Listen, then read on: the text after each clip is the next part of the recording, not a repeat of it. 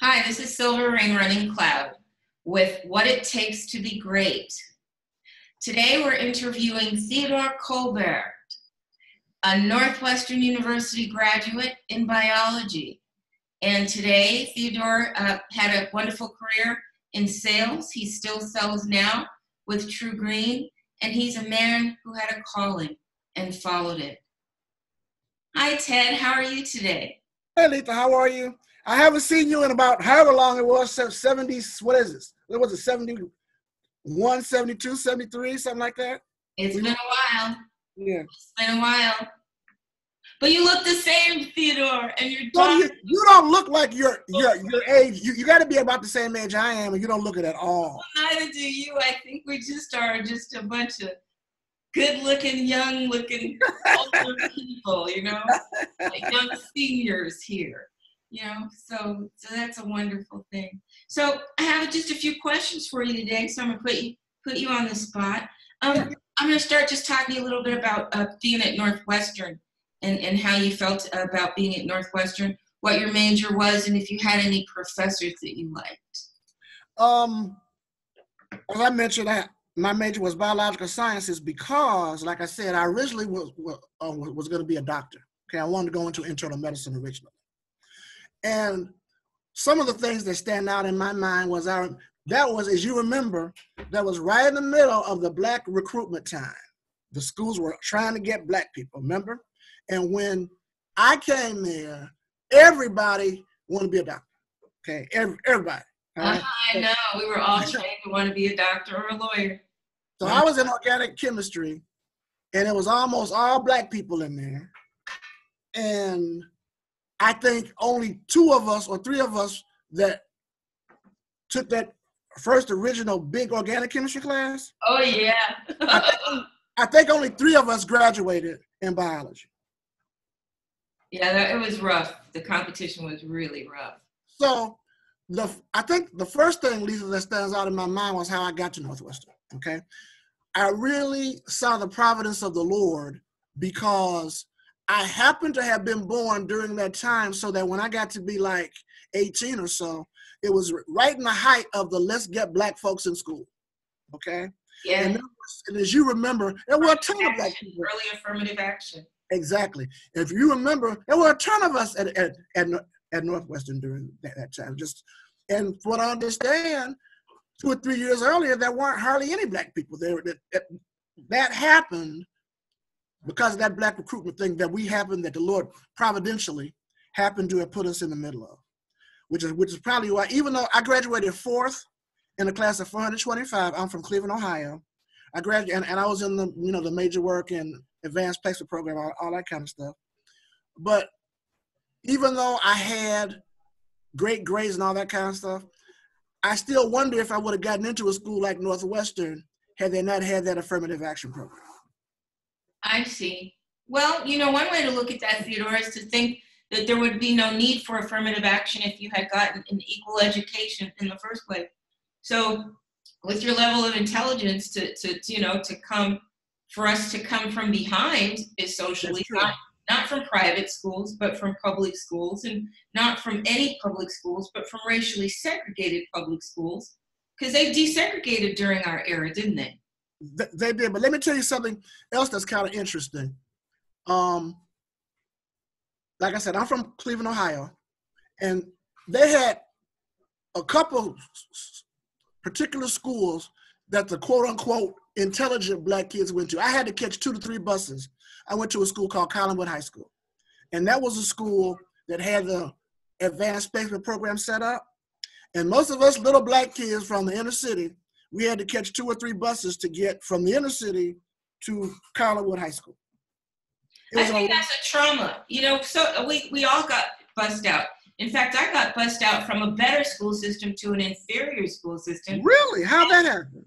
and I had to see striking parents on my on my way to school. I had to see angry, striking parents with signs. So wow. it took me to a, le- a, lesser school and traumatized me. It was very traumatic. Their attempts. Well, I'm, I'm sorry to hear that. Now I was in my school, Collinwood High School was very racially segregated, as you mentioned. There were a lot of Italians, and, and a lot of us black kids were bussed in, okay? And the Italians didn't like us.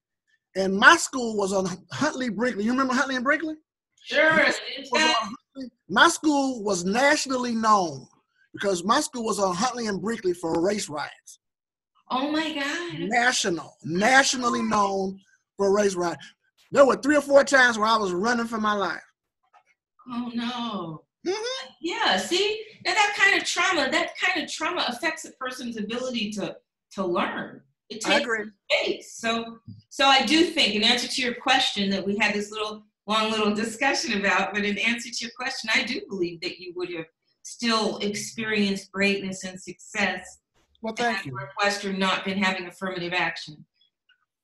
Um. Did you have any favorite professors at school? There was a guy, and I can't remember his name.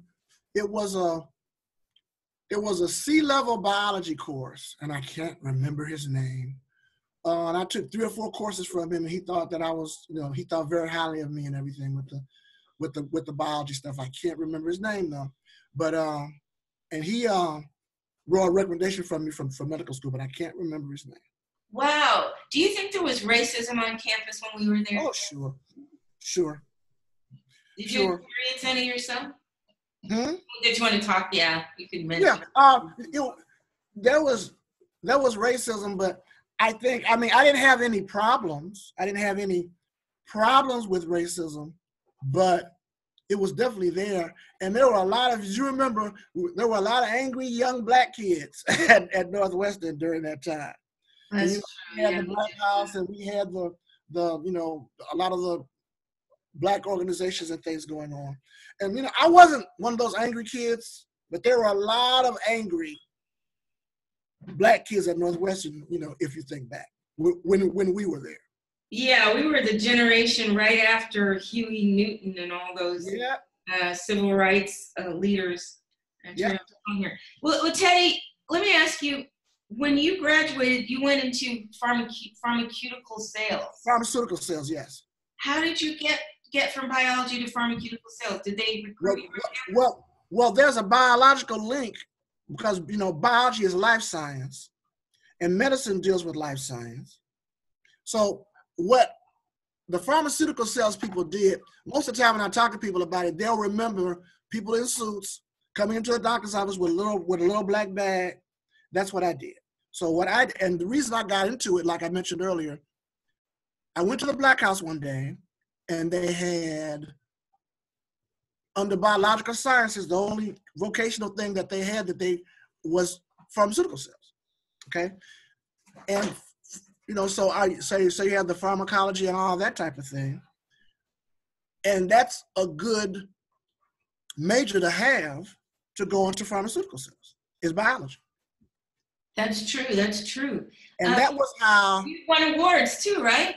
Yeah, that was how I got into it. I tell you this, this is kind of interesting. Um, Okay. um, when I interviewed, the company was originally called USV Pharmaceuticals, United States Vitamin. They morphed and wound up being, um, I, the name will come back to me, but uh, originally we, we were called US Vitamin. And when I interviewed the first time, and I was young and I wasn't thinking. Um, I had like three or four interviews. I had like three or four interviews, and then I wound up before they hired me. Um, they, um, I was interviewed by the regional manager. I remember him. His name was George Slavens, and this is an example of racism that you wouldn't even think about. So he introduced he introduced himself to me, and he looked at my at my uh, transcripts and stuff. He said, "You graduated from Northwestern?" Oh my God! No, he didn't. Yes, he did. He said, "You graduated from Northwestern with these grades?" Oh, but wait, I'm not. I'm not to the best part yet. Listen, after he said, "You graduated from Northwestern with those grades," he looked at me and he smiled and he said, "Do you have any friends?" So Oh what he did, he put me in a little niche, like I'm a special kind of black kid that can do that, that that well at one of the best institutions in the in the world. Then maybe I got some more friends like me. And I didn't realize how racist that was till I got older. Wow, that really is racist. Yeah, it really is. But because what he was trying to say was, at least they were looking for us back then. yeah, that's true. uh, now we're more likely to be at the end of a gun. You know, gun, so I, I would welcome affirmative action back. Yeah, I'm telling you. Well, well so, Teddy, um, you win awards as a salesman, right? I mean, yeah. yeah. That's you, you know that's exciting because in medical school you would never have had the chance to be the kind of a social person that You're you right. be as a salesman, and to be a successful salesman takes an especially gregarious, confident, outgoing kind of a man. So, how did you win these awards? What did okay. it take to be a great salesman? First, okay. tell us the name of your awards and how'd you win them? Okay. Um, this is gonna sound funny, but in reality, even though I preach and you see the videos and you know I look all vivacious and all that kind of stuff, underneath all this is a person who was introverted. Okay. Now I, I've kind of gotten past that, obviously, but I grew up introverted, and I never would have thought that I would have wound up doing some of the things that the Lord blessed me to do because you know, I've kind of become more outgoing, but inside there, in, in the inside of Teddy is still a little bit of the introverted thing, but I've kind of got past it. So I started, when I started selling pharmaceuticals, I followed a guy who was a black guy too. And he, and see, in pharmaceutical sales, you get a company car, you get an expense account, you get all that stuff. Okay. And a lot of people were looking for something like that because they wanted to be lazy. Because see, you, you can work a pharmaceutical sales job like that for a year and never go to work because you never had to, you you weren't uh, punching the time clock. You were totally on your own. It was autonomous. So you had to be a go-getter. You had to get up, go out every day, and talk to those doctors. Okay, and they finally kept that. They catch up with you later when when the, when the numbers were horrible. And the guy that I took over from that they fired was just like that. He never worked. They and so they hired me. And what I found was when I went out there and started working hard, Lisa, I found a whole territory's worth of doctors that USV knew nothing about. Wow. I found I found 500 doctors, 500 500 doctors. You personally contacted 500 doctors? No, I contacted them twice that, but I, am talking about because um, the guy that worked before me never worked. You know, new doctors are moving in all the time. So I started working and I added 500 doctors to, to the universe of doctors in my territory. They had to double the, they had to hire another rep. Wow, Teddy, that's amazing. They had to hire, so they broke they, they they they broke up my territory into north and south. Okay? Wow, two territories for one. It was it was two territories worth of doctors, but the guy that worked before me, his name was Harry Davies. He he didn't work, so I went to work and I found all these doctors and I put them in our universe, and they had to make another territory. So what and what I did, Lisa, really what I did was they always said that 80% of the doctors, uh, the 20% of doctors write 80% of the, of the prescriptions. Okay, that's why that's been a whole, an old adage in pharmaceutical sales for years. Okay, so what I did, and I was a I was also a sales trainer. Um, I trained a couple of the three I can remember three of the best people that that we had. I trained them. Wow. So, so, um, what I did was I saw my doctors. I, I worked real hard, but I really targeted those the biggest prescribers. They had a way of, of seeing which doctors wrote the most prescriptions. Oh yeah. Okay, and normally you would see doctors maybe six times a year. The big ones, I saw them 25 times a year. I was in their office all the time. Wow. Because, they were the big writers. The, the Holy Ghost kind of showed me that. And so I was, and so all the big writers, I was in their office. They knew, they knew me, Ted, how you doing? I was in there all the time. And other people didn't do that. The Holy Ghost showed me that. So I was calling on these doctors, and so you're in the faces of the huge writers all the time. They prescribe for you because I'm in there. I'm in there. You know, five times more than other reps are. So that was part of the thing that helped me to, to become successful. The other thing that helped me was because I went to Northwestern, as you did, and I had a degree in biology, I had an ascent towards pharmacology and that type of stuff. So what I did, I talked to the doctors about pharmacokinetics. I talked to the doctors scientifically. Okay. I see. And that was, and they liked to talk to me. And I had so many doctors that were angry with me, talking about, you are brilliant. What are you doing? They call us detail man. What are you doing being a detail man? You're brilliant. You know. So how did that make you feel? Did that make you feel a little I don't know, that they didn't appreciate what you had achieved? No, they appreciated it. Sort of arrogant of those doctors to think that their job was the only job, you know. Yeah, they really thought that. I guess maybe they knew I was a really good salesman. Okay. I, I think creating a brand new sales territory is the kind of pioneering maverick stuff that truly great leaders do. Well, thank you. If you are but the doctors, but the doctors, maybe they were a little arrogant, you know, because I think that they were thinking that what I did was nothing in comparison to what they do because they're they're and then they have no appreciation for what it takes to be responsible for developing a brand new sales territory. Is yep. that why you got the awards? You got two or three awards? Did you so what happened was, and this is something that I'm I really give God glory for. I'm really I'm really proud of. I worked for USV for eight years. Okay, and they had never had a President's Club award before. The President's Club Award, most companies have them. But the reason why I'm really thank thank God about this one was because this was the first time that they had the President's Club. So I'm a charter member of the of the President's Club of USV. Uh, there were only eight of us, and normally, when they put you in the President's Club, Club, it was for one outstanding year. But when you were in the when you were a charter member of the President's Club, it was for your whole career. So what they said when they made me, and I was, of course, I was the only black face, of course, of the eight of us. And they always kept banging toward us that you all don't realize what this means. This is this wasn't just one great year. This was for you. In your case, it was eight great years, one after the other. And so they made me a charter member of the President's Club. They gave me what they call an Atmos clock. I should have brought it in here.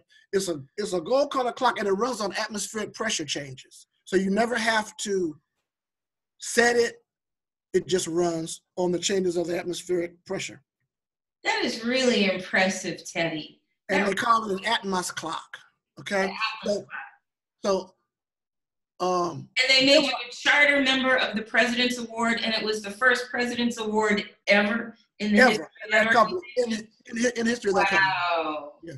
Wow. Then, then, uh, then about I don't know, ten years, ten years later, I won my second President's Club Award, and that was the year that they had the um, that they had the Olympics in Atlanta, in here in the U.S. You you may remember that. Okay. I do. I do remember. So, uh, my wife and I went on the trip, and we were chauffeur driven everywhere. Wow. We went to anything. We spent no money. They spent hundred thousand dollars on us, on each one of us. What? We went to the finest restaurants. We were chauffeur driven everywhere it was really nice, and it was really nice because we could go we wherever we wanted to go in the Olympics, we could go. So we saw the races, we saw the sprints, we saw the basketball, we saw all that stuff. You got the total VIP treatment, and that was prize for being.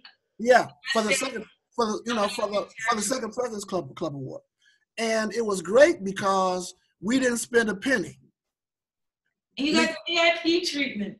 Lisa, Lisa, they spent a hundred thousand dollars on each one of us. A hundred thousand dollars. Wow. that means that you made a whole lot more than that for them. Oh yeah. Did you go to any spas? Did you get any spa treatments while you were there? Uh, I don't remember. We we may have gone somewhere like this. It was so long ago, I don't remember. Oh my goodness. Well, so, aside from perseverance, you know, keep going back. Didn't people hurt your feelings? I mean, like, what excuses did you make up for?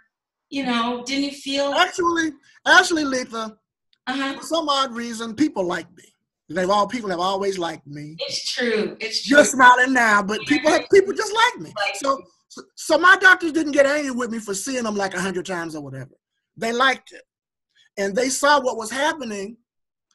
And like I said, I was seeing them way more than the other guys were, and they liked my my personality, and they liked the fact they they kept telling me that they thought I was so smart. Okay. Do you think you have charisma? Would you say you have? I guess. I guess. I guess. Whenever right. something whenever something goes on around with with the household, we we've kind of decided that I should go and talk to the people because because oh people just seem to. Well, I don't know. I don't really don't know why, um, but I guess it's just something that guys kind of put in me. People just like me. You know? What was your favorite part of that farm pharmaceutical? Welcome back. We're here with part two of What It Takes to Be Great, an interview with Theodore Colbert. Um, Teddy, we were talking about what it takes to be a great salesman. Um, so, would you tell us?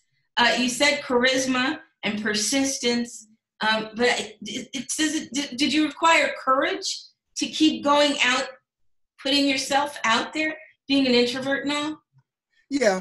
Um, most of my physicians really liked me, but there were a few that were just mean and very difficult to, to, get along with. There was one particular physician.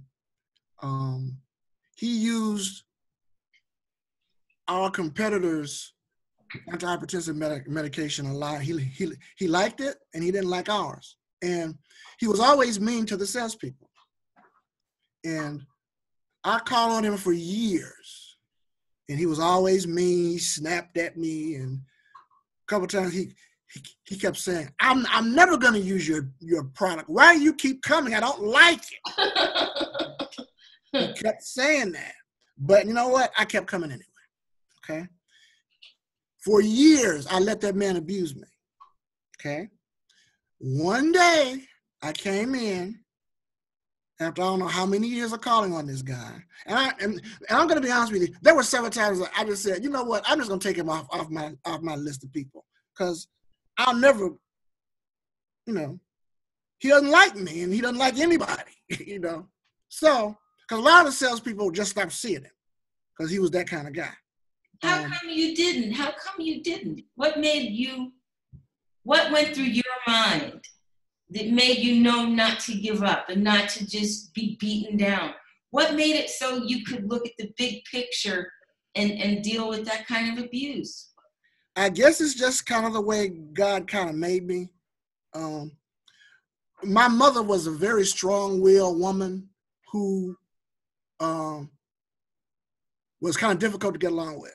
Okay, and so having lived with her all my life, um, I knew I kind of knew how to deal with how to deal with more difficult types of people. So one day, I walk into the office you know. And I had to get my mind in the proper position to even go see this guy because he was that kind of man. So I took a deep breath. I said, "Oh well, here we go again." So I walked in the office one day, and he smiled at me for the first time in I don't know how many years. He said, "Ted." He called by my first name. I didn't think he even knew my first name. He smiled at me. He said, "I treated you like a dog." He said, just like I treated all the other sales reps. And he said, But you kept coming. Wow. For all these years. And you know what he did? No. He started using my product. And he was one of the biggest prescribers in the whole city. And he said, and the reason why I did it, Ted, he said, you kept coming. You you wouldn't give up. He said, he, wow. he said, everybody else did. But you kept coming and you were nice to me and you kept coming. I was mean to you. You always smiled. You said, yes, sir, no, sir. And that was one of the ways that I got one of the biggest prescribers in the city. Wow. Another interesting scenario there was a doctor, his name was Dr. Keith Knapp. He was the biggest prescriber in the state, not just Chicago, but the whole state of Illinois. Okay. He was another real mean guy. You the only he wouldn't even see you. You had to see him. His his office hours were from six at night to three in the morning. What? That's insane. Yeah, yeah, that, that's what I said. So so the only way you could talk to Dr. Knapp was you had to go in his office at like midnight or eleven thirty or one o'clock. So I what I did, this. It's so eccentric. what I did, I wasn't married yet. I came home, ate dinner, took a nap, maybe watched a little television, and set my alarm clock for 11 12 o'clock midnight. I got back up, put my suit back on, got in my company car, and drove to 29th and Wallace to see Dr. Keith Knapp. Well, now, Teddy, nobody made you do this, nobody followed behind you to make sure you. No, There was nothing. This job was totally autonomous. That's how come it was. These type of jobs aren't for a lot of people. These type of sales jobs So aren't. did you do it for the money? Like when No, you're no, no, no, out there and you're gonna I did. the money motivating you? No, no, not at all. I didn't even think about it. Winning the client? Was it winning the customer? What motivated you to keep getting out there, winning the most difficult and the most loyal clients? The reason is, is, is very simple because it was the right thing to do. Oh my goodness. It was the right thing to do. I could have not. segue to the next question I want to ask you. Yeah, I could have not worked. Half the listen. Half those pharmaceutical sales guys didn't work. Wow. You you have to. it. All you do was get up. You, You you pushed yourself to be a high Yeah. achiever. Yeah, I did. I did. I pushed myself, and I, you know, and I, I generally work, you know, till six, where seven did o'clock. really get your message? Why did you do it? Because it was Because- the right thing to do Because it's the right thing to do. as a Christian to love. Yeah, as a Christian, and that's the way I was raised. You do the, you do the right thing, so it's the right thing to do as a Christian. That's why Yeah. you give up on these people. right? And so that's why I, that's why I went to see Doctor Knapp at one o'clock in the morning. That's why I kept going to see the other guy, cause, cause this company expects me to see these guys, and, and it has nothing to do with whether you can be seen or not, cause God sees you. So are you telling me it was about honoring your employment contract with your company and doing it to the best of your ability? I wouldn't quite phrase it that way. I would just say I was doing the thing that they hired me to do, and that's what I was supposed to do, and that's why I did it. I see. I see. Well, that's an impressive ethics. So let me ask you first before, um, would you tell the audience what a calling is? Because Okay. people do not know what a calling is. A So lot of we launch into your next career, um, so that was about Teddy's Teddy uh, Theodore Colbert's career as a salesman, an award-winning salesman who created Oh, two regions. Before I forget, but before I forget, you you had asked me before we got cut off. You had asked me about the other awards. Okay, every year you you had a Rep of the Year award. Okay, I won three of those. There they had then they had a Business Team of the Year award. That's when you were on the best business team uh, um, in your whole region. I was on the best business team, so I have one of those. Most of those I still have around here somewhere. Wow. So, um, when the Lord called me into ministry, um, I just started going to a Liberty Temple, and um, what a calling is, by the way, is when the the Lord lets you know that you're supposed to work for Him um, um, and you know minister for Him. They call that a calling. Okay, so um, with me it was kind of strange because I just come to Liberty, and I had a dream about the Lord telling me that I was supposed to be a minister and preach. Okay, so one day I was at church with, with my apostle, Apostle Turner, and he, he just walked up to me and pointed pointed at me. He said, he said, Ted, you're called to preach. He just walked up to me and just said it. Right around the same time that I had that dream. Wow. Okay. And from that point on, um, is something I just like to do. And I, I enjoy preaching, I enjoy teaching, I enjoy ministering. It's fun for me. I like it. Now you had this this experience, the first calling you had, was it at Northwestern or was it before Northwestern? No, the the real calling, my real calling, I, have always been, you know, saying this stuff, but my, my real calling for the, for the spiritual stuff didn't happen until I came to Liberty Temple. At and at Northwestern, I was do I was doing more singing, as you remember. You know, I was singing, um, doing a lot of singing with the Northwestern, you know, community ensemble. But I do remember in other conversations we've had, you know, as friends, I remember you telling me that at Northwestern you were a devout Christian at Northwestern. Yeah, I was. I was. It influenced the way that you made decisions and the way that you identified yourself from your peers. True. You want to talk a little bit about that, about about how your beliefs made you sure. different from the rest? Sure.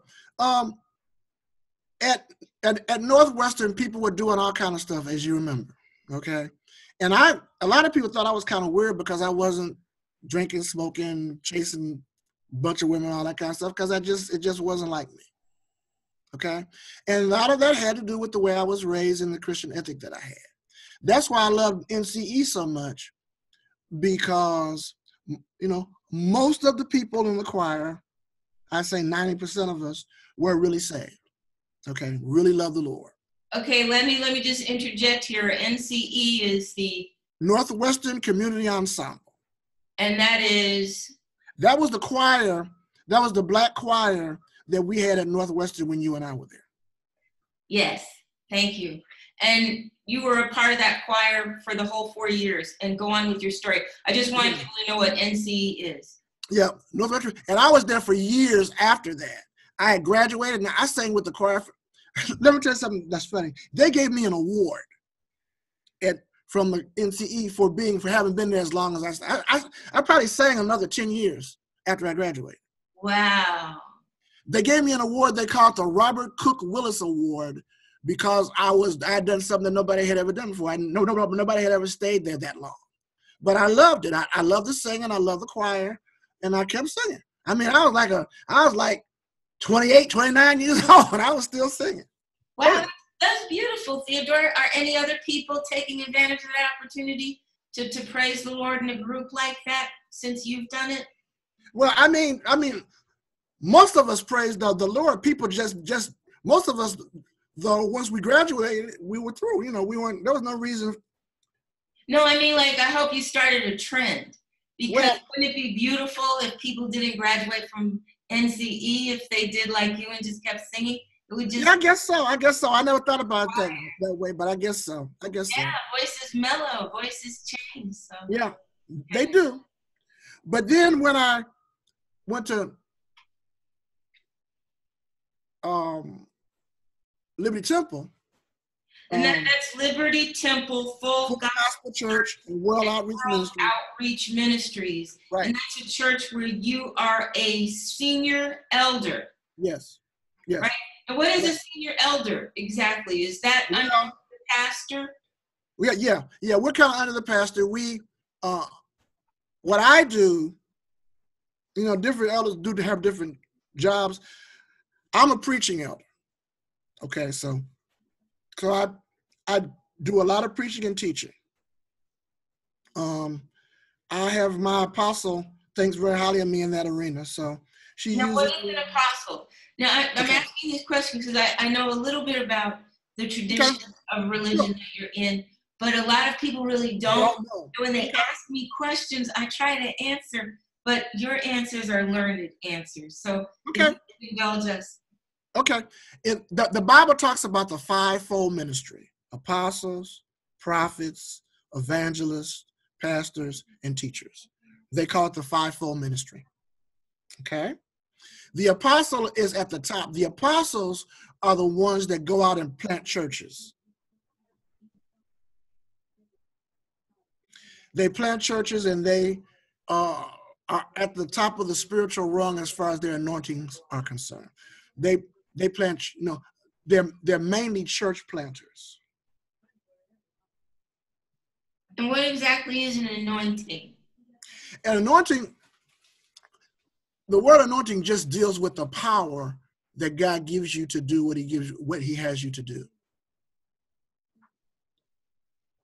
And after the apostles, what's left? Then the next on the rung are the prophets, and you probably know know about those. Um, they speak. They actually, the concept of the prophet in this time frame is not like it was in the Old Testament, like Isaiah. In the Old Testament, the prophets basically told the future. Okay. Yeah. But in this time frame, the prophet just speaks forth the word of God, not necessarily telling, speaking the future all the time. Then the next on the rung is the apostle, prophet, evangelist. The evangelist is just the one that goes out and, and preaches Jesus Christ and Him crucified. So I was an evangelist before I became an elder, before I got promoted to, to elder. Um, then there's the pastor, and you know what the pastor is. The, you know, the pastor is the one that runs the church, that sets up the church, etc. And then the teacher, I'm also a teacher, they teach the Bible. And that's what I do also. Okay, thank you. You're welcome. Just taking notes. And that's the fivefold ministry. Yes. Okay. Um, thank you. Um, Mhm. You're welcome. Teddy, you're the author of one book and an upcoming book. Isn't that right? Yes. Would you would you tell us a little bit about No Deposit, No Return? I read that book Yes, and I ma'am. thought it was a linguistic masterpiece. Thank you. Um, and I, a you know, linguistic masterpiece. I thought, My oh, Lord. yes, it was very impressive, theological. Reminded me a lot of um, the Magnificent Words. There used to be a guy on television named Gene, someone who would do very deep linguistic studies of, of the biblical words and their Greek origins and how those roots affect meaning and how that meaning should be taken today. And you Uh-huh. you do that quite a bit in no deposit, no return. Um, so you did all this sales stuff, you have all this. What drove you to do that extra mile and become an authority in theology? And in something, and in, and in linguistics is a deep field. You know, I'm all about identifying natural scholars in the wild, you know, amongst us all, because everybody doesn't go to graduate school. But if you were categorized, what you did is a linguistic study, um, and that that's fascinating. What made you go that extra mile to actually make a book and become an author? And are you a speaker as well? Yes. Well, like I said, I generally send you my YouTube videos, so I'm preaching, you know, regularly. Yes, yes. We'll talk about your your your YouTube series too, where you do the live um, the live sermons. Mhm. So- very exciting as well. I love those. So getting back to what you were saying, um, probably has something to do with my Northwestern background, but I've always been the type of guy, like I said, I graduated fourth in the class of 425 from high school in, in Cleveland, Ohio. I've always been the kind of guy that wanted to understand stuff. I wanted to know why. Even in bio, in the biology thing, like when I was selling the pharmaceuticals, I was the guy that would break down the pharmacology and talk to the doctor about how how the drug actually got in the body and worked. And that's why one one of the reasons why uh, why uh, God had me to be a success was because the doctors were impressed with me being able to talk to them on their level.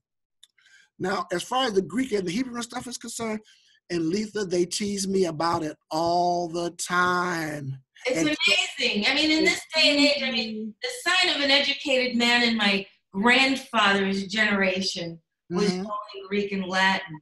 But that dropped off in the 1970s, 1960s. True. What? But you stuck with it. Did you take Greek and Latin in grade No, school? people people ask me that, but let me, let me tell you very simply why I do the Greek and Hebrew so much. The Old Testament was originally written in Hebrew. Okay.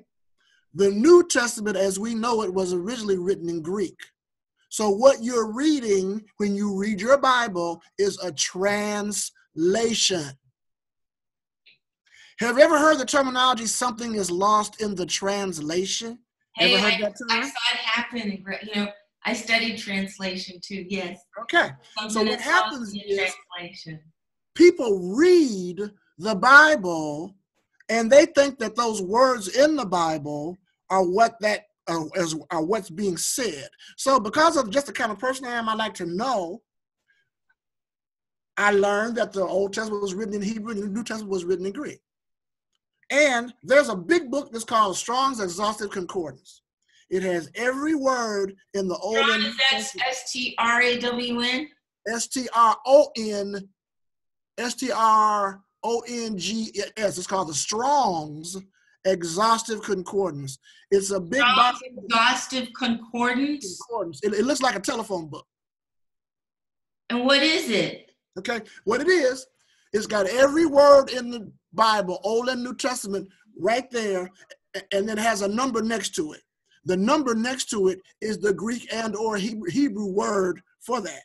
Then wow. Then you go to the back of the concordance at, and look at that number, and it tells you what that word means in the Hebrew if it's Old Testament or what it means in the Greek in the New Testament. And, and, and the Lord's kind of given me a thing for that because when you look at what the words mean in the originality of the text, many, many times it's nothing like what it looks like when it's translated. So, in order for you to really understand the Bible the way the Lord wants us to, you have to be somewhat proficient in the Greek and Hebrew translation. I see. And so, because of the way that I am, I'm kind of academically oriented. So, when I found out that you needed to, that it's a translation, I said, okay, so that means you got to get into the Greek and Hebrew and you got to know what these words mean. And Teddy, do you think what where was it? Did it stem from an oral tradition, and and does it come from Africa? These texts ultimately. I mean, and, and what about the the fact that Constantinople, his place in history, like you know, having this accumulation of texts. I mean, mm-hmm. You know, you look at it as God's word, but but let me not argue too much about that. I don't want to discuss too Okay. much about that because we should have another conversation about that. I would okay, you know want to move on to what do you think about the power of prayer do you think that prayer is actually an energy and actually affects things do you think prayer has power and how can we pray Okay. I believe that I believe I believe what the Bible says. Okay? The Bible says, I think it's in James 4. I believe it says the, that the effectual, fervent prayer of a righteous man availeth much. Okay? That word availeth, if I remember correctly in the originality of the text, has is the Greek word energio, where we get English word energy from. So there's energy in prayer. No, no, it's the word effectual. That word effectual is is is energio. So that means you got powerful energy in your prayer. If you're praying the will of God back to Him, there's power in that. wow I know for a fact, just in my life, I've seen God answer prayers. I've seen God answer prayers in my family members' lives. I've seen Him do stuff in my life over and over and over and over again. I we were getting ready to move into our house, and um, I didn't have the money for the down payment. Okay. Are you crying? Don't no cry. i'm not crying i'm not Okay. crying but it's sad i know the stress of it yeah i So, can't so what happened is, but I was believing God. I, I, I knew that we, we had looked at the house, and I, I, I knew it was it was ours, but didn't have the money for the down payment. I think it was five days or so before I had to have the money for the down payment. My company at the time, USV, sent me a check for I think it was like two or three thousand dollars. And what they said was, I didn't even know it. But what they said was, I had, because of all time that I had been there, I had been involved in some kind of a system where money was being taken out of my check. But now, why in the world would they send me the check right when I needed it for the house? Wow. Okay. Providence. It was God answering prayer. There's no doubt about it. And I've seen that kind of stuff happen over and over and over and over again. Yes, Letha, prayer works. Thank you. I, I tend to agree. Um, um, thank you. So you also teach Sunday school, isn't that right? Yes, I teach. I'm also a member of our Bible college. It's called Logos, L O G O S, and that means word in, in the Greek. So I, I, I have taught the book of Revelation. I've taught the book of Ephesians. Uh, what else have I taught? I've taught Blacks in the Bible. You like that? Um, I'm trying to remember all the stuff. Uh, I probably taught about and wrote the curriculum for maybe 10, 12 uh, of our um, uh, courses in Logos. I was the second Logos teacher. And I'm the only Logos teacher that's still there from when they started. I'm the only wow. one. Are you going to do any touring as a teacher or formalize what you know so other people can learn? Well, I've kind of formalized it already because because I was the one that put together all those curricula that I taught. You know, God had me do that. But I do believe that I do a lot on Facebook. You probably see see some of the stuff. I know you see some of the stuff because you. Oh you yes, you you you are a fervent contributor to Facebook. Um, I've I've seen a lot of your your Bible verses. They're very inspirational. Um, but I was also wondering what's your what's your upcoming book about and what's it what's it called? Okay, the book that I have coming up now is called um, Powers in His Name. That's the name of the book, and I'll tell you what I was doing with that and what the Lord gave me. Um, there's a verse and it goes like this The name of the Lord is a strong tower. The righteous run in it and is safe. You said the righteous run in it and are saved? Yeah, are safe. Oh, I see. I see. It's Proverbs 18 and 10. Okay. It says, The name of the Lord is a strong tower. The righteous run in it and are safe. Now, the Lord, it says the name, right? The Lord has a whole bunch of names. Um, we, we call them covenantal names, okay? Jehovah Jireh, the Lord our provider. Jehovah Tsidkenu, the Lord our sanctification. Jehovah um, Elyon, the Lord Most High. Okay, then you have the, um, those are called Jehovistic names. Then you've got the Elohistic names. That's where you use the word El, El, uh, El Shaddai, the God that's more than, than enough. So God has the El names and the Jehovistic names. And what the Lord spoke to me was, He's got all these, he's, he's probably got 25 covenantal names. Jehovah this, El that. And each one of those names, Letha, deals with a specific aspect of his character the Lord the provider, the Lord the healer, etc. Okay? And what God told me was the Bible says the name of the Lord is a strong tower. God dropped in my spirit that each name that he has, those Jehovistic names, is a tower that you can praise and pray your way into. So when you're sick, you praise and praise and pray your way into the Jehovah Jireh, quote unquote, tower or that aspect of his character. Well, tell me this, um, Teddy. That sounds kind of like multiple gods. That sounds like polytheism in a way. Not at all. Or even it's nowhere. It's nowhere near it. God. I mean, what, how do you explain? Very simply, getting ready to. Okay. God has many different aspects of His character. Those different names, it's all God, but each one of those covenantal names deals with a particular aspect of his character. So it's not like each one of those is God. It's all the same God, but it's dealing with a particular aspect of his character. So when you're sick, you say that an advanced prayer would have to know which God to appeal to, which aspect of God to appeal to when the person is praying. Would you say that if you want to be an advanced prayer person, you have to know? I don't think so. I don't think that you have to be that advanced. God is God, and He knows where people are. You can just add, pray to, to God to heal you. You know, you don't have to say Jehovah. Uh, uh, uh, uh, uh heal me. You don't, no, no, no, no, no, because most people don't know that. So God knows where. We, so God knows where we are. Main thing I want to make sure that that we get here, Letha, is we're not talking polytheism.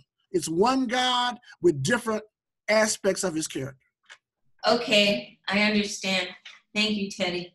Mm-hmm. Tell us a little bit about why you're putting up the Facebook, um, the Facebook uh, services. Because what, the reason I'm asking is because you know I'm in literature and everything, and one of the things that are repeated as a trope in African American and African diaspora literature, well, not African diaspora, but African American literature, is pastors and African American film.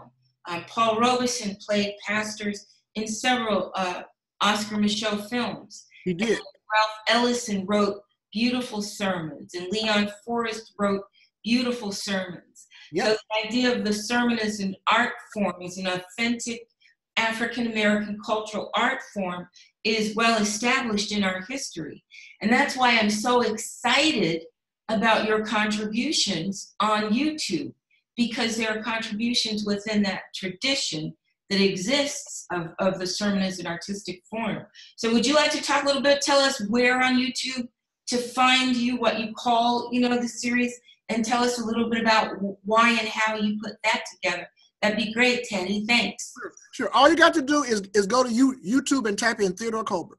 That's all you got to do. YouTube Theodore Colbert, and you'll see probably 30 sermons, 40 sermons. Okay. Why do I do it? The Lord led me to do that because a lot of some folk don't go to church. A lot of folk don't go to church. Okay. So this is kind of like the little bit that God's given me for the people that might not go to church, but they see my stuff on on YouTube on on Facebook, and so they can get some Bible that way. That's why I do it. Beautiful, yeah. I'm always sympathetic to causes that help shut-ins. Yeah, it's a real problem. And that helps sick, sick and shut-ins, people that can't go to church. You know, sometimes they watch it on on um on television, but some people kind of like the YouTube thing, and where they actually see the see the preacher actually there and preaching. I, I think I got a lot of people who really get encouraged. Now, besides for the YouTube, as you know, I probably post something every day some some biblical revelation, something God's given me on on on Facebook. Okay. I, I, think you do too. I think you do too. And I wanted to talk about um, now. Let's go to segue to the third thing okay. um, you are super into, which I'm very excited about. You know, so your career as a salesman, where you distinguished yourself with awards and defining new territories. Your work as a senior um, elder in your church, and your work um, that, that, that I want to talk about now, which it just sort of slipped my mind. I went into a panic getting off into that. What what was it, Teddy? Help me out here. Um, I think you were talking about you. Facebook. I got it. I got it. Okay. I had an old lady moment. Sorry. Stop it. Moment there. Senior moment there. At 62, I'm just not as sharp anymore. But yes, you are. And you don't look 62. No, what you're doing on Facebook is so important. You know, Facebook is going to be around like the encyclopedia, okay? It's going to be like an, a, a, a, a, gold mine of our lives. And you on Facebook, you and Lady Manny, have done wonderful things with preserving and promoting and keeping Motown and Philadelphia Sound and all the other pages that you guys maintain and keep flowing with content. You must have a full-time job of, of internet content creation. But well, before you talk about your Motown site. You've got to talk about Motown. Okay, but before I get into that, I'll, I'll, I'll talk about our. Uh, this is this is Black History Month, which I know you are really into, and so am I. We have a page. Have I? Have you looked at our proud to be uh, African American page yet? Proud to be an African American. I love that page. Okay, that's one of that's our biggest page. I think we got like twenty five thousand people or more. Yeah. Okay? And what we do is we just put the stuff out there. You know the the, the historical aspect, and there are, and there are a lot of things that aren't true that, that people think, and some things that are. And so what we try to do is we just try to um, put up the truth. Like for example, I really like that. I, you know, you and Black Web does that too. For example, um, what's the guy's name? Okay, Carol Channing. Cheryl Channing's not a guy. No, I, excuse me. I was, was I, I, was getting ready to go for another person. I was getting ready to go for the guy, and I couldn't remember his name. But but Teddy, Teddy, Teddy, did you know that before Carol oh, Channing died, she admitted she was black? That's where I was going. All right. Oh, I'm, oh, I'm sorry. Clark Gable and Carol Channing uh-huh. both admitted that they were black. What? Clark Gable? Yes, Clark Gable. I never heard that. It's the truth. And Clark Gable, during his time as a as a leading man and all that stuff, he was a great advocate for black people because he had black blood himself. You know, and that was back in the days where they had separate toilets and separate stuff. He didn't go for it and he was a you know he was everybody loved him. Wow. And he, was, and he was a big advocate. He, I mean, he go toe to toe with you. Wow. no, no, I'm black. No. But, but, Teddy, why do you do that? Why do you keep Motown alive like that? Do they pay you? Are you no, on the Motown? No, no, no, no, no, no, no, no. I grew up. I sing a little bit too. Okay. I grew up singing. I go I'm an only child. Mom and daddy would be upstairs asleep. Where did I you grow up? What, what town did you grow up in? Cleveland, Ohio. All right, that's right, yeah. Okay.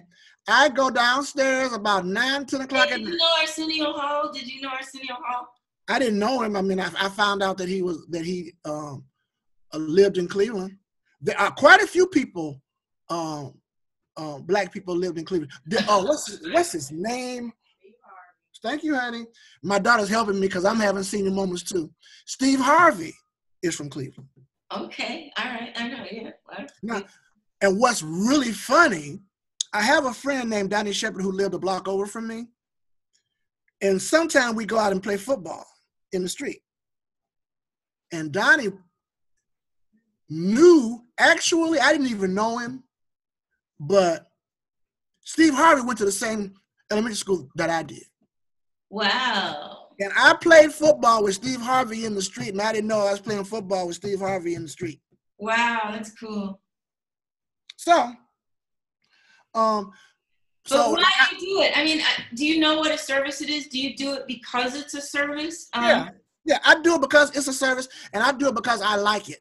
Like I said, I nine ten o'clock at night, I get my little uh uh t- uh, uh, phone, uh, you know, phonograph, little, little small uh, record player. What do you mean a phonograph? Okay, oh, a little, a, a, record player, a, a little small one. I had a little small one, about this big. Okay. And I could, and it had a, a handle on it. I could close it up, and I could take it. I could, you know, carry it around wherever. So I take it into the into the kitchen nine o'clock, 10 o'clock at night, mom and dad would sleep. And I put on Temptation. I put on, it would be easier to take the wet from water or the dry from sand. So I put that on and oh, I sing it. Hey, your voice is beautiful. Thank, Thank you and I sing it. I'd be down there by myself, nobody but me, singing. Wow. Six, seven, eight years old, with a voice as high as Michael Jackson's, and I was a little boy. Okay. And I just sang. I sang and I sang and I sang. And uh, I was in a couple singing groups. Um, when I was at Northwestern, I don't know whether you heard, do, I don't know. Do you remember Warren Lawson and Ronald Pitts? Of course, I remember Warren Lawson and Ronald Pitts. All right. If you remember, the three of us, we were like the three amigos. All right. Okay. We had a singing group, and they called us the OJs, like we were old and jaded. Okay. And I don't know whether you remember, but every year they would have uh, Northwestern would have what, what they call the nightclub. I remember that. Okay. And every year, Warren, Ronald, and I would perform. And we were everybody waited to hear us. I think I remember that too. I do. I was the I was the lead singer. Okay. My goodness. Warren was the You guys- hand. You guys had screaming fans, if I, Yes, we if I did. remember It was correctly. it was it, it was hilarious. It was hilarious, and people. we were and very we- excited. It was really beautiful men doing a beautiful thing. And Warren was a ham, so he did the steps. And I remember the first time we came out and did steps, people just hollered and screamed, and it, it was hilarious. Okay, so um, I've been singing since I was a little kid, and so I'm I was a big Motown fan. I, I sung those songs to myself, so that's why I'm into How many hours a week do you spend maintaining this, these websites? I don't. I've never really done this. It's got to be you know it's got to be hours. You know, got to be two. Do you ever promote them as research sites? Because you know, wow, if Facebook was searchable, it's it's wonderful. That's a good idea. I never I never thought about that. That's that'd be a great idea because you know we post a lot of stuff that people don't know about all the time, and I people know it's us- really rich history. and people think us all the time about the about that stuff. And with, That's with something to all the lies out in the public about us, with all Yeah. those lies, having firsthand proof of accomplishment and achievement becomes so important. And that Sound, that was back when people like Dozier Hall and Dozier put so much energy into lyrics that were heartfelt and beautiful. It was I just did a piece yesterday on Norman Whitfield and Barrett Strong. They wrote a lot of the Temptation stuff, uh, the, the psychedelic shack stuff, the uh, Runaway Child, Running Wild. Uh, it was those two guys that, that wrote most of those songs, the Temptation songs during that era. So how many hours a week do you think you spend preserving this culture and doing these collections? maybe seven or eight, maybe more. I don't know. That's lovely. So would you say, Teddy, that that's your hobby? Yeah, it's my hobby. It's, it's definitely music is my hobby. Music, the Bible, music and the Bible, and I like movies. I'm a I'm a, I'm a, I'm a big movie buff. Oh, I see. So those are probably my three hobbies. Okay, well, so give us a movie, a movie recommendation. You well, this one you I know you everybody knows about it. The Black Panther. Oh my goodness, so you liked it? Oh God! And what I'm happy about is it set all kind of records because this was the first superhero movie in history that is, that has been nominated for an Oscar. I mean, it was an, an Oscar. Wow. Okay. And this is, you know, people people. This movie, and I'm a big comic book fan too. A I big grew what fan? What fan? comic comic book fan. Oh, comic book. comic book fan. I grew up with the Justice League and and the X Men and the Fantastic Four, and I grew up with them. You know, when they were first getting started, because I was a little boy then. So, um, I really liked Black Panther because I remember reading about Black Panther when I was a kid. You know, when he first came out. So, and and the movie just took off because it was number one, it was excellent but it drew black people together. Did you notice the great black, what's the word I'm looking for? Pride that was engendered by the Black Panther. Absolutely. People acted like the city that they were in was a real city. They talked about it on Facebook, like, yeah, I'm gonna go to, you know, it was, I think it was a big part of the hashtag Black Girl Magic movement. yeah, exactly. It really, you know, came in with that. So, you know, So, yeah, Yeah, uh, so I do the face, and so I do the Facebook stuff for two reasons. One, I like for people to know the truth about stuff, and two, I do the well probably number one for me even more so than the than the Motown pages and the Philadelphia pages and the Black Pride pages is I use How it many as pages are you running right now, Teddy? probably We probably got 12, 13. Wow. That's serious business. But the reason why, Okay, we'll have to put a list of them at, in the in the notes here. okay, We'll um, the reason why I'm into Facebook is because it's a it's a great media for the Word of God. Leah, I cannot go more than a day without posting some kind of Bible something. Something, something that, that God's given me, some Greek, some Hebrew, some what this word means, what that means. If if I miss a day or two, people tell you, you okay? What's I was waiting for you to post something Wow. Yeah. constantly, constantly. So my real reason for Facebook is to is to try and get out the word. Do you have a web page, Teddy? Do you have a web page yet? No, I'm getting ready to have one. Uh, we were talking about that the other day, and uh, one of my best friends that I helped to train is one of the pastors in our uh, in our network, and uh, that's where I'm going next probably, because one of the things that I realized, the book that that, that you were talking about that I showed, I'm going to repackage it, um, get a get a better picture, make it smaller, because the content is good, but people, as my daughter was pointing out to me yesterday, and she was so right, um, people are attracted by the way things look. So I'm going to make this book the size that a book should be, smaller, because I wanted it to be smaller, but the way they, when I set it up with the company, they made it come out looking more like a workbook. Okay, so I'm gonna get some Are people to gonna release another edition of um of your first book?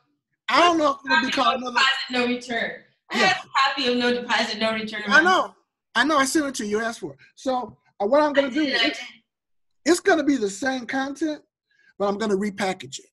I see, I see. It's gonna be a you know, the, the dimensions of the book are gonna be like a like a normal book. Now, how do you want people to use that book, Teddy? Well, I'll tell you some things that people have told me I didn't even think about. I have had several people come to me and say, Teddy, I use that book as my devotional. I've heard people say every day I go in there and I read, you know, from the next from from the last thing that I read to the, to where you are now in the book, and they use that as their prayer and their Bible study. Wow. So they use that as their spiritual inspiration for the day? Yeah, yeah, I- and I wasn't even thinking about that, but a, a, a bunch of people have come to me and told me that.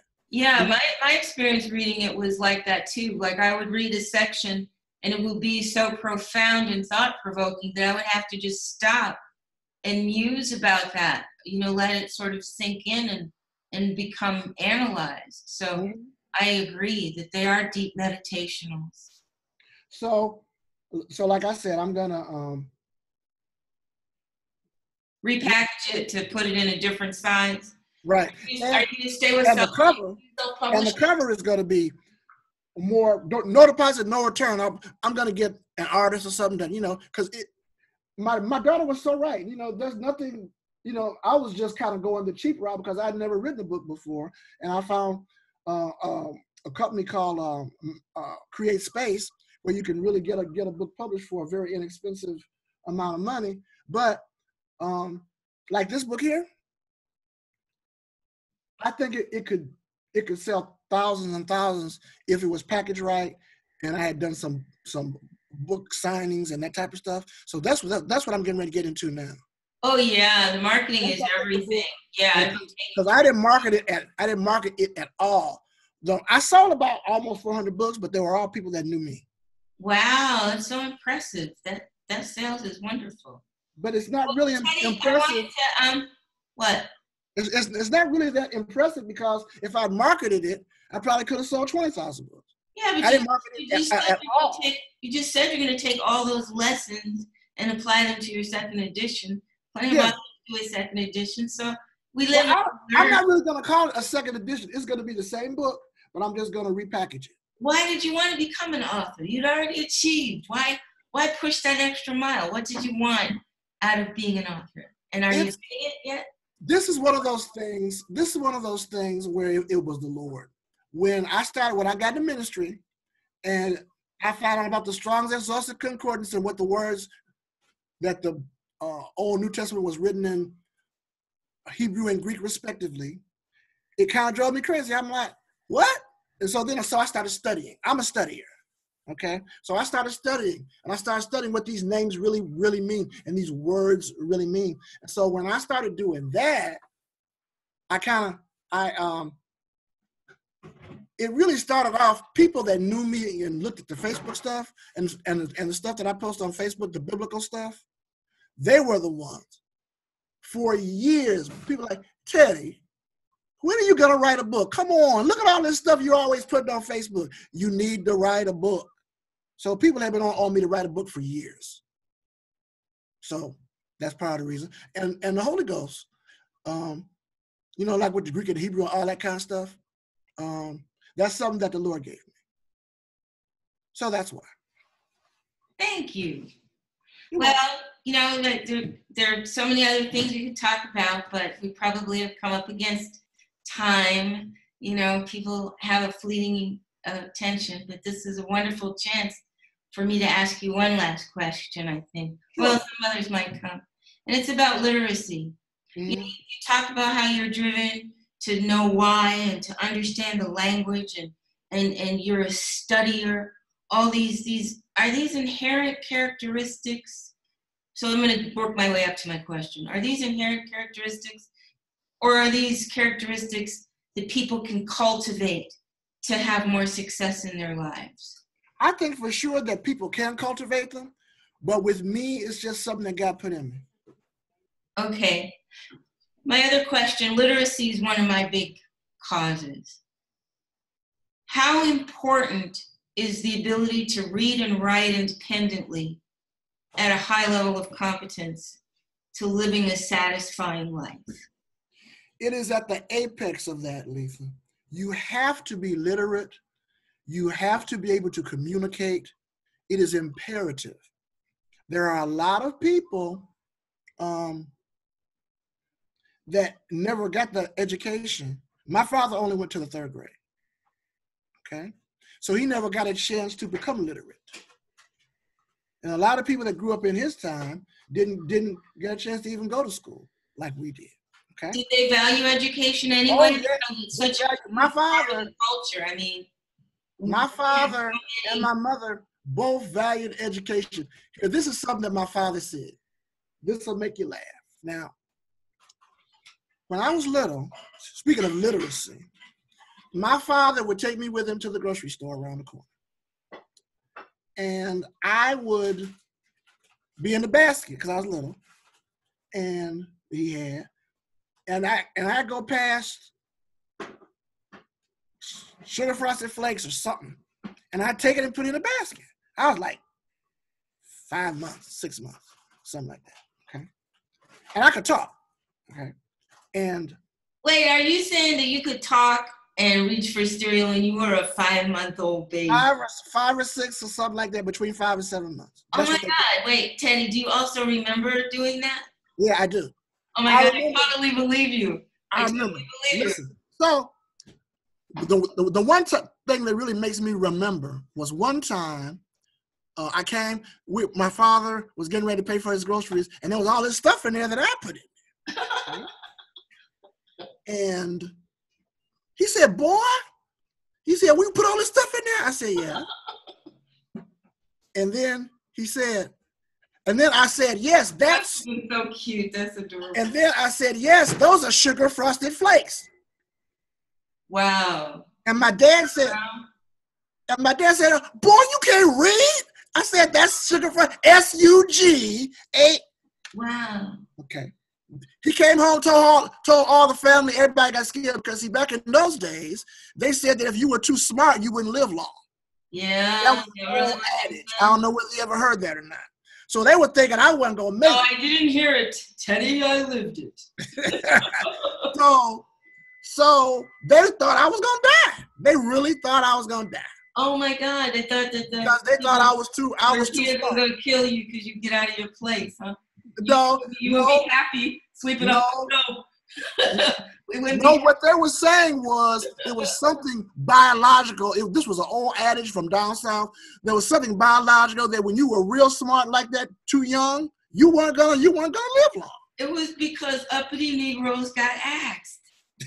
well, in what on my end of it, they were saying it, it, that there was something in like your brain or something that when you were too intelligent and too young that you, that you weren't going to live. Not from somebody killing you but there was something biological that they were saying that you weren't going to live because you were too smart. How did you feel about having that put on you? Well i mean i, I thought that they were silly. You know i didn't think Good that for you. but but, but that, but it must have affected you somehow do you think? Well what it did all it did really with me, Lethus, was as I as I was growing up, I've always been a studier. Okay. So like I tell you, I graduated fourth in the class of 425. So I um I didn't know it, but I have a cousin who's very, very bright. Young lady too. She's I think she's got her PhD. My cousin Patrice. And I tell you, I went to Collinwood High School, and that's where they sent all the supposedly really, really bright black kids. We had to catch buses. Okay. So my cousin Patrice is very, very bright too. They bust her into Collinwood. Behind me, she's seven years younger than I am. Letha, I had no idea. Patrice told me, and then a couple of other people that went to school with me who, uh, one of my friends, Sharita, uh, wound up being a principal of another school. okay And, and first, my cousin, then Sharita told me, and I still can't believe it. Patrice said, I had a teacher in high school. Her name was Miss Kruger, my English teacher. Okay. And she always liked me and thought very highly of me, thought I was real smart and all that kind of stuff. Well, it just so happens that Patrice wound up taking Miss Kruger too. And she pulled me aside one day and she said, All Miss Kruger, Miss somehow another, Miss Kruger found out that I'm your first cousin. And she said, All she talks about, this was like, like I said, I'm seven years older than she is. I've been Wow. gone. Your intelligence expressed that I finished. I finished Northwestern. Okay. And she said, all Miss Kruger talks about was how you are one of the most brilliant students that ever, that ever, that she ever taught at Collinwood. And I started crying. I couldn't believe it. I couldn't believe it. I couldn't, I mean, I, okay, I did real well, yeah, but I didn't think it was a like something like that, like historical stuff. Well, that's because you're inside, you know, that's because you're inside yourself.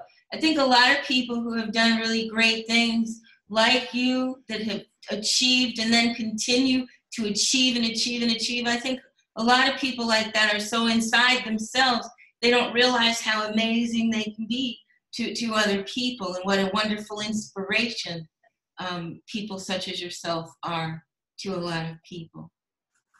Well, I wanted to thank you for choosing me because I didn't think there was anything to me for you to do something like this. Oh my goodness. Well, I think you distinguish yourself as a religious leader, for one. Um, is, is your church very big and, and you're there every Sunday? Every Sunday. Uh, and we have Bible study on Wednesday. I'm there all the time. It There was a time when the church had like 10,000 people. Wow. Is that a mega church or not? Well, it was. Originally it was, you know, but then things started started changing. People just didn't want to go to church anymore like, like they used to. But when I first came there, like in the 80s, Is, is that why you do the YouTube and the Facebook outreach programs? Well, not necessarily. Well, yeah, I guess I guess I guess that you could say that, yeah, because people aren't going to church like they did 20 years ago. A lot of people are, particularly a lot of the, um, you know, like us in the boomer time. But you know, but a lot of the, you know, people in their 20s and 30s, uh, younger people, have their own ideas about the Bible and religion, all that type of stuff. So what I try to do is I just put stuff on my Facebook page uh, about things biblically, historically, what the words mean, all that kind of stuff. And what it does is it gets people interested. And once again, I had no idea that so many people are waiting every day for me to post something on Facebook, you know, biblically oriented. Oh, you know that that makes me think that we are in such an age of transition that now that we have digital technologies changing things, we have to find new ways to reach out to each other and form communities and, and make these cyberspace communities. So it occurs to me that you're also a leader in bringing the Black church online and, and into the into the mainstream as, as a recruiter. Uh, maybe recruiter is not the right word, but I evangelical. I mean, it's sort of a cyberspace evangelical. Oh yeah. Well, one of the things I, I want to let you know is that most of your churches, a lot of your churches, your larger churches, they're they're they uh, stream, so you don't have to go. You can just stream on your computer or whatever. Like like for example, um, a lot of people can't make it members. Like if they can't make it because of their job or whatever, they'll just they'll just stream Liberty and watch and watch my apostle preach or whatever. I see. Yeah, I've used it instead of church before myself. So, um, but like what I do, a lot of what I do is is like the Lord kind of prompts me to, but the people um like my way of with the Greek and the Hebrew and historical stuff. People like it. So, so tell me what's next for you. Um, what's your next goal? Is it your next book? Yeah. Okay, wait a minute. One more thing about your church. Are are people welcome to go there? Sure, anybody can come. Are you interested in new members ever? Oh, boy, are we? Yeah. Liberty Temple Full Gospel Church and, and World Outreach Ministries. The That's address is 22 Illinois, right? It's in Chicago. The address is 2233 2233 West 79th Street. 2233 West 79th Street. Yeah, if you want a church that's going to teach you the Bible, that believes in the power of the Holy Spirit, it's a good one. All right. And I've heard the, some of the congregants uh, in the background in the YouTubes, and they sound like a very friendly, they are. They are. bunch of people. They are. Like a, a lot of people that would be very comfortable to be with. They are. And they're very encouraging to, to me. They always have, have a kind word. Um, okay, I got to ask you just one more question. Did you read James Baldwin's "Go Tell It on the Mountain"? Yep. It, it was a long time ago. How accurate was it? And did you did it resonate with you as a person who got the call? Um, as a oh yeah, yeah, yeah, and a yeah, person who in that tradition. Talk definitely. to me a little bit about how James Baldwin's "Go Tell It on the Mountain" reflects reality. Well, that was a that was a long time ago, but basically, what I get is you have to get the word out. It has to be done. Okay. And people with calls on our lives, that's the burning thing inside of us. We, we we want people to know the truth. You can't make a person get saved. You can't make a person do anything, but you can present the Bible and the gospel in such a way that it's interesting. One of the things that one of my callings with what I do is I like it I like uh, to share things with people that they didn't know. A lot of people tell me I motivate them because I'm always telling them stuff that they didn't know, they never heard before, you know, biblically speaking. So that's one of the things I enjoy doing is sharing something that people didn't know. And they so they're learning. So that's one of the most important things for me. All right. Well, thank you so much for being with me today, Teddy. Thank you for choosing me. Let me tell you somebody that I think you probably he might be on your in on your list. Contact Warren Lawson. Okay. He's a he's done wonderful things. Okay, thank you because I, so you I need to really talk to him. You definitely need to talk to him. Getting to more people. Um, I I have Dottie Tucker. Uh huh. And Carl Douglas lined up. Um, so I did a one with Carl, and mm-hmm. I, I, have one set up with Dottie Tucker. So I will definitely put Warren on the list. Is there anyone else that I should take note of? Because I really think this is a wonderful opportunity. We get so maligned in the media, and we really need to come forward with our own stories. And we have so many triumphant stories like yours, and, and Dottie's, and Carl's, and Jeffrey's, and I'm sure the list goes on and on. So thank you. What so am I doing? I'm going to take some time and think about it. I'm sure I'll come up with some people, and I'll just. Uh, well, everybody's been so nice about Facebook.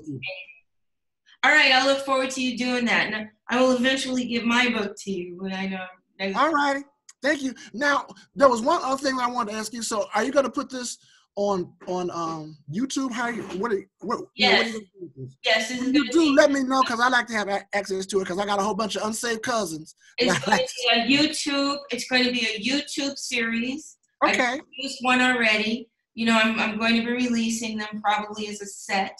Okay. Excellent. Also, I'm also going to donate them because I don't use all the footage. Mm-hmm. I've, I've had some blooper moments. Yeah. Uh, Yeah. you know, so I don't use them all. So I'm going to donate the rest of the original tapes to Jeffrey's archive at Northwestern. Excellent. Uh, okay.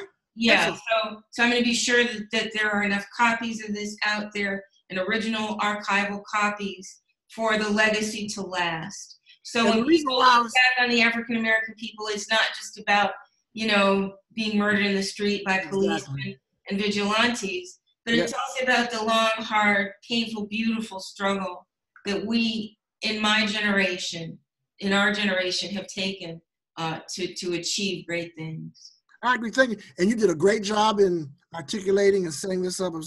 Is very impressive. The reason why I asked about what, what you were going to do with this is because somebody like me, you know, a little boy from Cleveland, um, with a very strong-willed mom uh, and a very sweet dad, but you know, I went through riots at Collinwood High School. I was chased by very angry Italians. You know, three or four times. And the reason why I'm asking is because maybe somebody might get encouraged by this video and my story. Well, that is that that is our dearest hope. Uh, we not only look for people to be encouraged, but we have a lot of people teaching African American studies who have no connection to the African American community, That's and they true. rely upon these firsthand accounts to to to inform them about their scholarship. So it's a very important tool for scholars to have a very important, uh, you know, a gold mine of information. You know, and you represent the field of religion, but also sales, which you know that's like mastery of the material and the spiritual world. Um, and yes, people need to have markers, need to know because you know how it is. You're coming along, and if you don't see anybody like you, you you question a little bit what it is. Why do I feel so different? Why do I believe in my difference so intensely? You know, why do I know I'm special and great? and you just keep moving, moving, moving. Well, people coming behind need to see people like you as milestone markers. They say, yes, I can go this far and farther. Yes, I can go this far. It's like testing the depth of the ocean or something. Amen. Thank you, Letha. I appreciate it. And like I said, I'm Eddie, honored that you chose me to be in in, in your series. Thank you very much. you were a very easy pick. We've been friends for a long time, had many wonderful conversations, and you have been there for me when no one else was with beautiful words of, of love and inspiration. So thanks, Thank Teddy. God bless you. Thank All you. right, you too. Bye. Okay, Shaman, you can turn it off.